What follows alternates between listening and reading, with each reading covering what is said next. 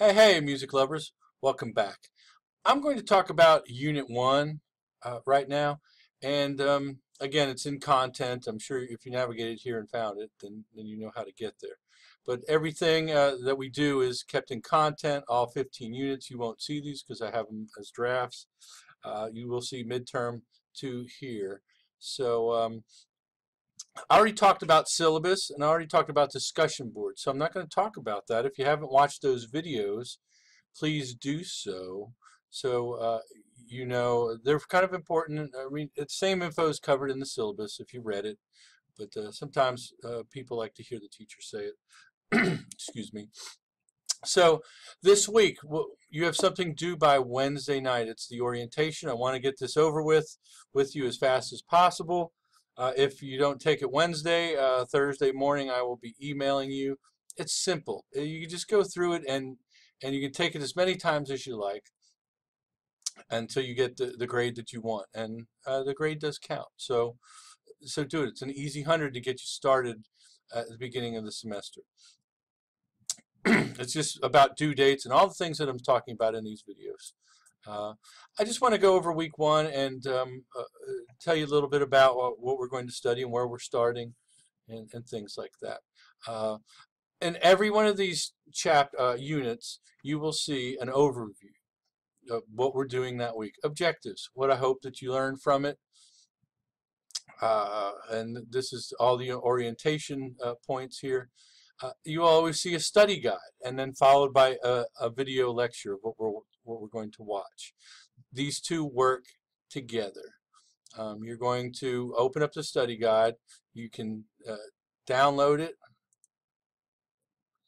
and download button and then you'll see either this will open up and you can save it and print it um, or sometimes it opens up down here too. So print those out and use them. Oh, also available at the bookstore. So if you want one, uh, your printer stinks like mine at home.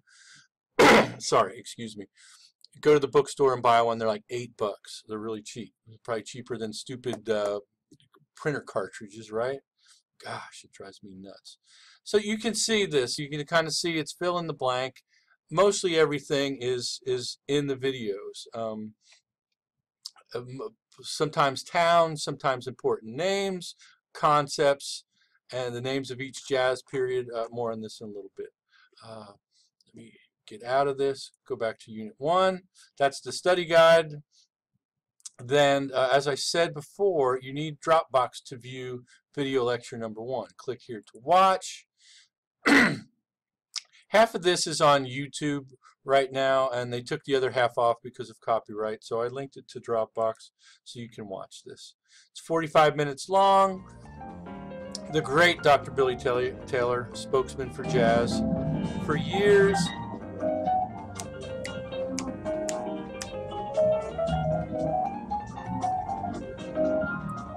Right?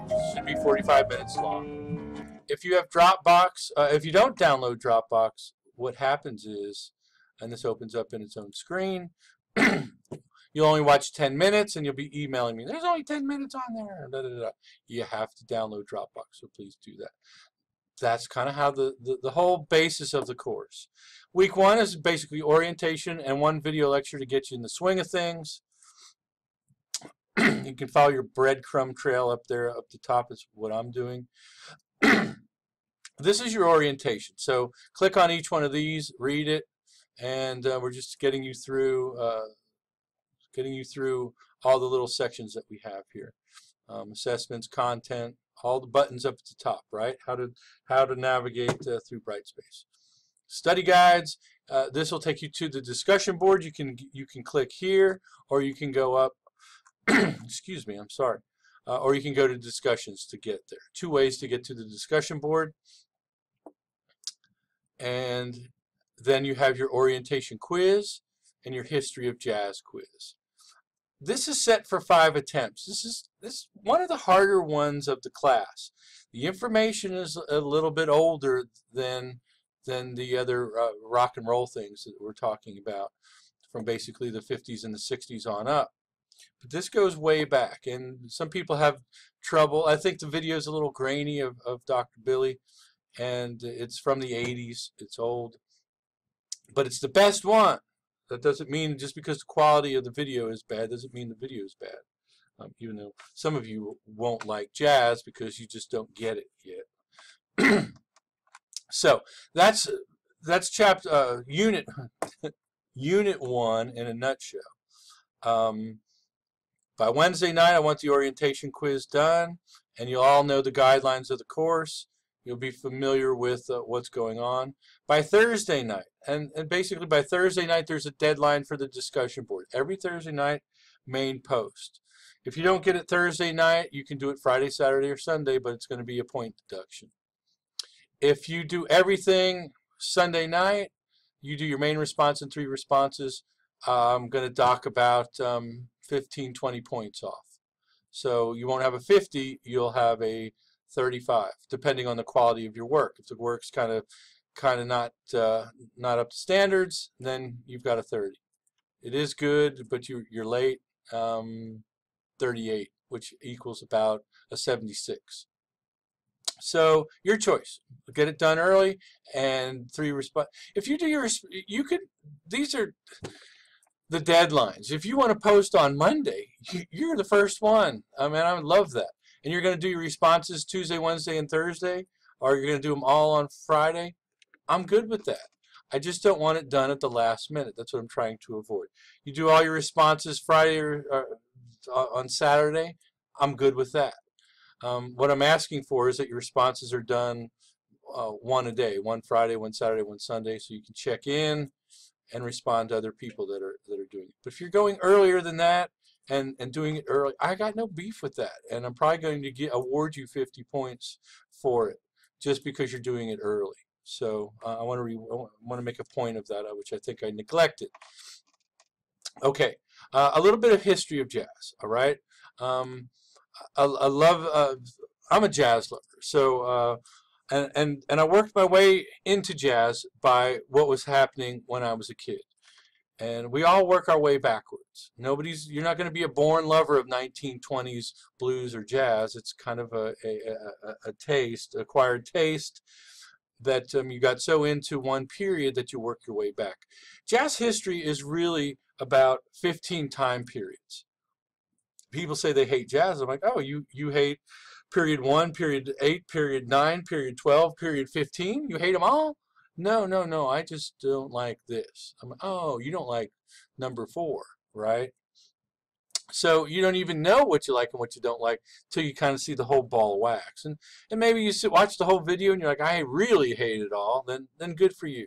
Um, you know, uh, jazz has combined with with all other forms, including hip hop in the 90s there were some really really cool groups who were doing uh, taking old jazz musicians uh, taking maybe the recordings and sampling or the musicians themselves and getting them to play on their recordings. How cool is that? Uh, uh by the end of this class you'll see that it's all related and you you you hate jazz but you love hip hop you're not seeing the light my brothers and sisters. You're not seeing the light. It's all related. Everything's linear. So what happens in 2019 is going to be directly related to what happened in 2018.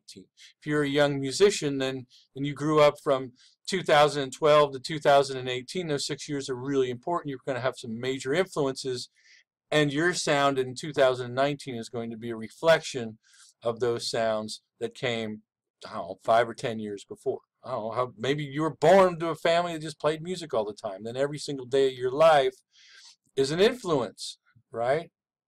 So we're going to go back. We're going to see the slaves are freed. The slaves get musical instruments. And all of a sudden, there's a new sound happening. It's not the European art music. It's not Beethoven and Bach and, and the music of the 1800s. It's something happening that's different, and it's called the blues. The blues is a form of music, but the blues is also a type of music that uses a certain scale. And the scale is important because that scale is going to revolutionize the whole world. I kid you not. So we start out with uh, also a little bit of technology. The record player is is developed, uh, invented by Thomas Edison, 1873, I think, and by by 1890, there's a record industry. There's millions of records being sold. They're, they're little toilet paper looking things called cylinders. By the turn of the century, uh, it, it's in high gear, and also we get to to, to the vinyl discs, even though they were made of shellac and they broke real easy. By 1910, we've got million sellers. We've got a business on our hands. And, and so the blues are, are rampant, and ragtime is rampant. Ragtime sounds like, I don't know, you would know it from cartoon music and video games. Uh, a guy named Scott Joplin uh, and his piano style, and it spreads all over the country and all over the world. Also in, in the uh, late 1800s, Fisk Jubilee Singers from a college singing group of, of all black kids uh, are discovered to sing this new style of music called the spiritual, which is actually the blues.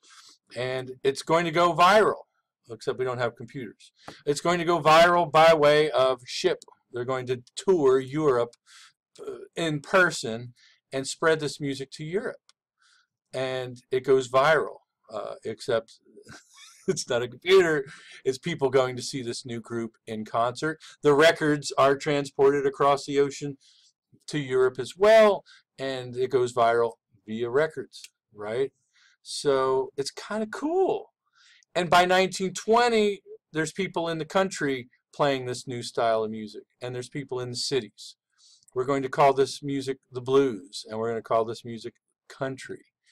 And by 1930, boy, oh boy, oh boy, we're recording Mom Pa Kettle out in in uh, the Mississippi cotton patches, and by gosh, we got a whole new style of music going on. Um, what we're talking about in this particular video is the, the, the path of jazz, ragtime, to the Dixieland jazz of New Orleans, to Louis Armstrong in New Orleans, and New Orleans gets shut down. The the red light district gets shut down, and they all go to Chicago. So guess what's the next hub of jazz? Chicago. And Louis Armstrong and all the great musicians are up in Chicago. And then some of them move to New York, and it moves to New York, and it's going to move to all the cities and out to, to California. And what the big lesson here is every style of music, including jazz, goes through a process, a metamorphosis. It's going to combine with other musics. Jazz is going to combine with classical music. Jazz is going to combine with Latin. Jazz is going to combine with rock, and we're going to study Carlos Santana and, and Latin rock. So it's it's kind of a, a mini dissection of, of what's going to happen when we study country, when we study Latin, when we study rock, when we study hip hop, they all have a meta, uh, an evolution. That's the word I'm looking for. An evolution. So I want you to enjoy this. Any uh, remember, you get to take the quiz five times. Five times. Take it once to see what's on it, once for kicks, and then go back, read, and get as many of the notes as you can. Use Wikipedia as a source. Go to go to Wikipedia, type in jazz history, ba-boom, you're going to see all the periods of jazz I'm talking about and all the people. Um, if you get stuck and you're like, this stupid guide doesn't have this videos that some, some of the blanks you think aren't filled in, send me an email and I'll tell you what it is. I've been through these things um, a, a, million times, uh, and, I, and I can almost do it by not even looking at my notes. It's memorized number one, I had to go through these and make the notes. So for the most part, they're all there. Now, in some cases, I do add additional information, and I've tried to make sure that that's not a blank, but I might have missed it. This course was formed for a face-to-face -face class, later developed into internet course. Um, it's not perfect, but uh, I will, by some way and somehow get you the answer to those blanks. So um, I went a little long, but that's a little bit about Unit 1. We're at 15 minutes. I'm going to, to stop it here. Thanks for listening.